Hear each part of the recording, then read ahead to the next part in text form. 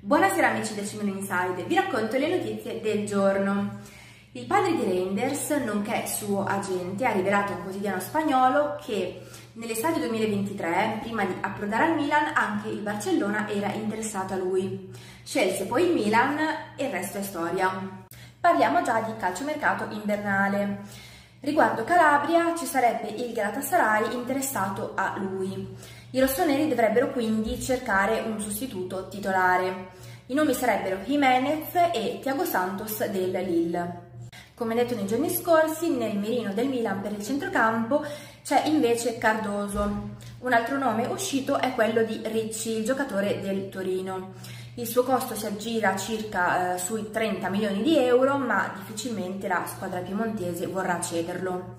Parliamo adesso di Milan Futuro. La squadra di Bonera infatti ha avuto un difficile inizio di campionato. Seppure il progetto sia di far crescere i giovani giocatori eh, da, per farli approdare in prima squadra, non deve venir meno l'obiettivo dei risultati. La squadra fino adesso ha collezionato un'unica vittoria, ha il peggior attacco del girone B di Serie C ed è al penultimo posto. Ci si aspetta quindi un cambiamento già a partire dalla prossima partita affinché non si parli già di esonero dell'allenatore. Per oggi è tutto, ci vediamo alla prossima puntata del TG 10 Milan Inside.